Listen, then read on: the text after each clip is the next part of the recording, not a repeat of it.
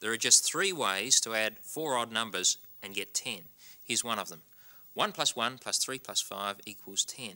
Now there's another solution that has just a single 1. See if you can work it out.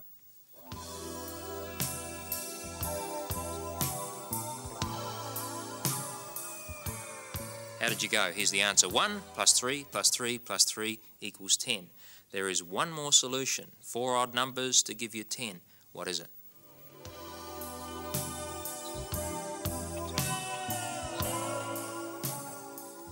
Well, it's this one. 1 plus 1 plus 1 plus 7 equals 10. How did you go that time?